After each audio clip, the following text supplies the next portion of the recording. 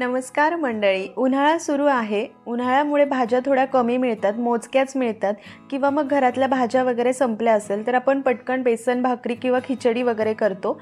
पण अशा वेळेस आज आपण उन्हाळ्यामध्ये जास्त वेळ किचनमध्ये उभं न राहता मस्त अशी झटपट थाळी बनवतो ज्यामुळे तुम्हाला सुकी भाजी आणि आमटीसुद्धा वेगवेगळी बनवावी लागणार नाही. तर मिक्सरच्या भांड्यामध्ये दोन ते तीन चमचे किसलेलं सुकं खोबरं घ्यायचं. अर्धा इंच आलं एक हिरवी मिरची कोथिंबिरीच्या काड्या. कोथिंबिरीच्या काड्या नक्की घ्या. याने वाटणाची चव खूप छान येते. त्याचसोबत सात आठ लसूण पाकळ्या. आणि आता पाणी न घालता जमेल तितकं बारीक हे ताजं ताजं हिरवं वाटण तयार करून घ्यायचं. वाटण तयार झालं. भाजीला फोडणी करण्यासाठी दोन चमचे तेल गरम केलं आहे त्यामध्ये जिरे घालायचे. जिरे छान फुलले की सात आठ कढीपत्त्याची पानं आणि एक बारीक चिरलेला कांदा घालायचा. कढीपत्ता असा कांद्यासोबत घातला की तेल खूप उडत नाही. आता कांदा आपल्याला एक ते दीड मिनटं परतून घ्यायचा आहे थोडासा मऊ होईपर्यंत. कांदा इथे छान परतून घेतला. जास्त लाल वगैरे करायचं नाही. लगेच यामध्ये तयार करून घेतलेलं हे ताजं हिरवं वाटण घालायचं. गॅस कमी ठेवा कारण वाटण कोरडं आहे पटकन करपू शकतं. कांदा खूप जास्त परतायचा नाही कारण तो कांदा आता वाटणासोबतसुद्धा व्यवस्थित परतला जाणार आहे. वाटण घातल्यानंतर छान एकजीव करून घ्यायचं आणि मंद आचेवरती आता थोडासा रंग बदलेपर्यंत आलं लसूण हिरवी मिरची खोबऱ्याचा कच्चापणा जाईपर्यंत वाटण परतून घ्यायचं आहे त्याचसोबत कांदासुद्धा छान असा परतला जाईल.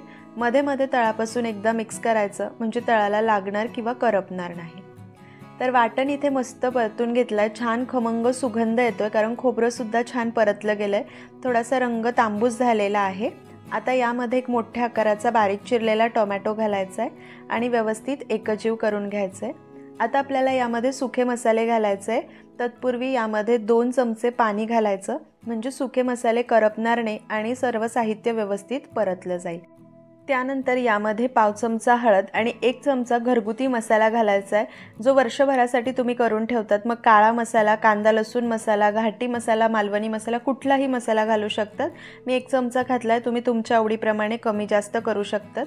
आणि जर तुम्हाला मसाला घालायचा नसेल तर फक्त लाल तिखट वापरलं तरीही चालेल. पण मसाला घातल्याने चव जास्त छान येते या भाजीची. सर्व साहित्य मिसळून घ्यायचं आहे आणि मंद आचेवर तेल सुटेपर्यंत परतायचं आहे तर असं थोडं थोडं मॅश करायचं म्हणजे सर्व साहित्य व्यवस्थित एकसंद होतं टोमॅटोसुद्धा मऊ होतात. भाजीत घालण्यासाठी पाणी गरम करून झालं आहे आणि मी भाताचा कुकरसुद्धा लावला आहे तर इथे पहा आपला मसाला परतला जातो आहे तोपर्यंत अर्धी वाटी मठ मठाची जी डाळ असते मठ डाळ ती मी पाण्यामध्ये एक तासासाठी भिजवून घेतलेली आहे. भिजवून घेतली की पटकन शिजते.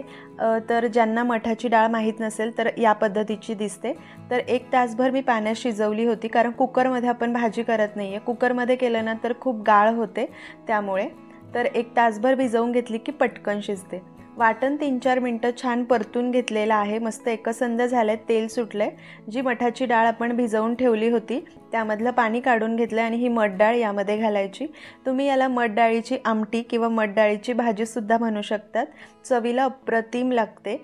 यामध्ये चवीनुसार मीठ घालायचं आहे आणि सर्व साहित्य मिसळून घ्यायचं आहे उन्हाळ्यामध्ये किचनमध्ये खूप गरम होतं म्हणून जास्त वेळ उभं न राहता एकच अशी पातळ आमटी किंवा भाजी करायची म्हणजे सुकी भाजीसुद्धा करण्याची गरज पडत नाही आणि भाकरी चपातीसोबत आपण खाऊ शकतो. सर्व साहित्य एकजीव केलं पाणी न घालता पाच मिनटं वाफ काढूया म्हणजे डाळ छान परतली जाईल डाळीच्या आतपर्यंत मसाल्यांचे फ्लेवर मस्त उतरतील. पाच मिनटं झालेले आहे डाळ छान अशी पाच मिनटं मसाल्यामध्ये वाफवून घेतली. त्यामध्ये आता दोन ग्लास गरम पाणी घालायचं आहे गरमच पाणी घालायचं म्हणजे तवंग कमी तेल असला तरीही छान येतो आणि भाजीची चवसुद्धा छान लागते. डाळ शिजेल आणि रस्सा होईल यानुसार मी दोन ग्लास पाणी घातलं आहे तुमची डाळ शिजायला किती वेळ लागतो? तुम्हाला रस्सा कसा दाटसर पात्र हवा आहे त्यानुसार पाणी कमी जास्त करू शकतात. कोथिंबीर घालायची आणि मस्त अशी दणदणून उकळी येऊ द्यायची आहे. ही भाजी या पद्धतीने केली तर चवीला अप्रतिम लागते. भात भाकरी चपाती कशासोबतही आपण खाऊ शकतो. छान उकळी आलेली आहे. झाकण ठेवून मंद आचेवर डाळ शिजेपर्यंत मस्त शिजवून घ्यायची. मध्ये चमचा आडवा ठेवायचा म्हणजे भाजी उतू जात नाही आणि तवंगही मस्त येतो. तर एक दहा बारा मिनटात भाजी शिजून होईल किंवा आमटी आपण म्हणू शकतो. तुमची डाळ शिजायला किती वेळ लागतो? त्यानुसार वेळ थोडाफार कमी जास्त लागू शकतो. भाताचा कुकर झाला आहे यासोबत खाण्यासाठी मस्त मऊ लुसलुशीत घडीच्या चपात्या तयार करून घेऊया. भाकरीसोबतसुद्धा ही डाळ खूप छान लागते. तर आज मी चपात्याच करून घेते. ज्वारी बाजरीच्या भाकरीसोबत चुरून खायला खूप छान लागते. तुम्ही मठाची डाळ बनवतात का? किंवा कशी बनवतात? मला कमेंट करून नक्की कळवा. तर मस्त अशा सगळ्या चपात्यासुद्धा तयार करून घेते. मस्त टम्म फुगलेल्या चपात्या आहे आणि इथे पहा एक दहा बारा मिनटामध्ये आपली मटडाळीची आमटी किंवा भाजी बनून तयार आहे. तवंग आणि रंग मस्त आला आहे जास्त मसाले किंवा तेल आपण अजिबात वापरलेलं नाही आहे मस्त अशी डाळ शिजलेली आहे. मला खूप जास्त गाळ आवडत नाही. मी नव्वद टक्के शिजवते.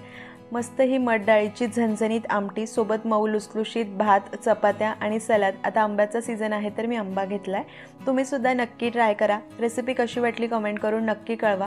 भरपूर रेसिपींची डिटेल डिस्क्रिप्शनमध्ये आहे त्यासुद्धा नक्की ट्राय करा. आणि आपण भातासोबत ही टेस्ट करून बघूया. तर चव अप्रतिम होते. मला खूप आवडते ही झणझणीत आमटी. तुम्हीसुद्धा नक्की करून पहा. आवडली असेल तर लाईक शेअर आणि चॅनलला सबस्क्राईब करायला अजिबात विसरू नका.